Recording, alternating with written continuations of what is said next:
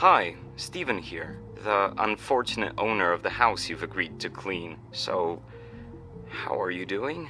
You're still up for the job, right? Or did the garbage dump in my roommate's room scare you off? Then you're a braver soul than I am. I felt defeated right after I opened the door, so I closed it immediately. But to the point, I have one more request. I had a microwave, which disappeared mysteriously some time ago. If you'd find it in his room, could you move it to the kitchen? I have it since I went to college. It would be a pity to lose it now.